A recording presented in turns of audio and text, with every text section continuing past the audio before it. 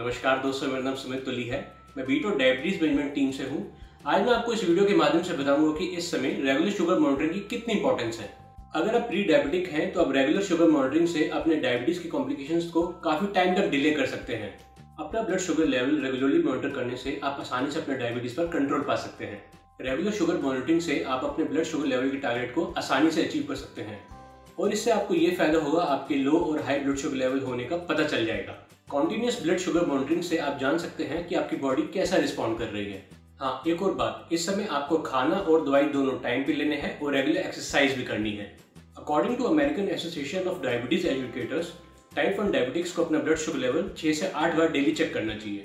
और हाँ type two diabetics को अपना ब्लड शुगर लेवल हफ़्ते में मिनिमम दो से तीन बार ज़रूर चेक करना चाहिए। दोस्तों, मैं आशा करता हूँ कि आप अपना blood sugar level regularly check करेंगे और अपनी सेहत का ख्याल रखेंगे।